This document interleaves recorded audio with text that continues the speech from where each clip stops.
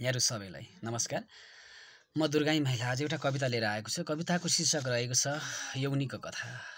म सृष्टिको केन्द्रबिन्दु हुँ। मलाई प्रत्येक पल झेलिरहेको हुन्छ भुर्न उत्पादन गर्ने बिरुवाहरूले। मेरो मांस फिसीको पालहरूमा।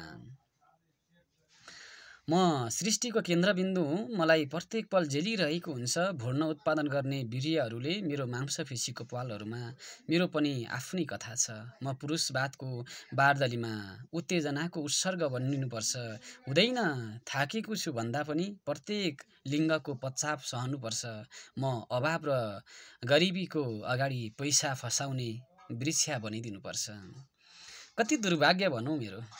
कति दुर्भाग्य भनौँ मेरो। म हरेक पुरुषको खेलौना बन्नुपर्छ कामुकताको शिकार बन्नुपर्छ मेरै अस्तित्वको चिरहरण गरेर।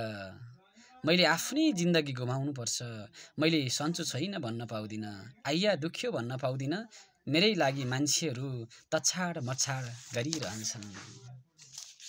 मलाई यस्तो लाग्छ म यौन मनोरञ्जन मनोरञ्जनको मनोरञ्जनको लागि जन्मिएको हुँ। मलाई यस्तो लाग्छ म यौन मनोरञ्जनको लागि जन्मिएको हुँ।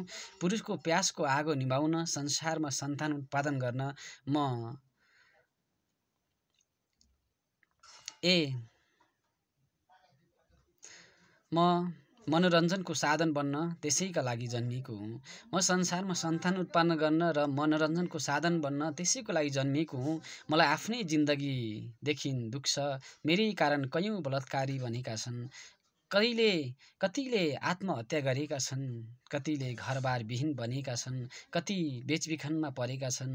म कस्तो यौनी हो जसको कारण आज दिदी बहिनी आमा र छोरी कोही सुरक्षित छैनन्। म कस्तो यौनी हो जसको कारण दिदी बहिनी आमा र छोरी कोही सुरक्षित छैनन्। हस्त धन्यवाद।